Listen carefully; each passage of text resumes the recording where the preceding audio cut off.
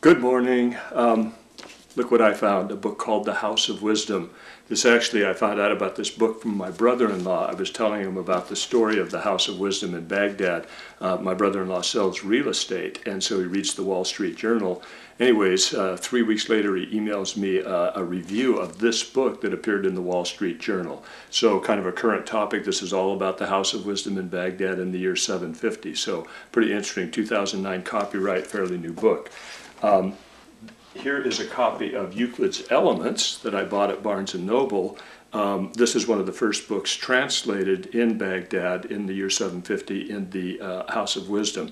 So kind of interesting too that this book, which is over 2,000 years old, how can I just walk into Barnes & Noble and buy it? Well, the answer to that is the same as the answer to the question, why do we call it algebra? The trip takes us through Baghdad in the year 750. Um, in the House of Wisdom. Now, what's really interesting about that is the rest of the story, which we'll talk about a little bit later, which um, involves the same group of people and translating these books uh, into Latin, and then that's how they move into Europe so that we can get all this information. That's how this information comes to us. That's how we have algebra to teach today. That's a fascinating story, and that story involves the mathematician Fibonacci. So we're going to go back and see how Fibonacci fits into this whole story of why do we call it algebra or why is it that I can walk into Barnes & Noble and buy a copy of Euclid's Elements.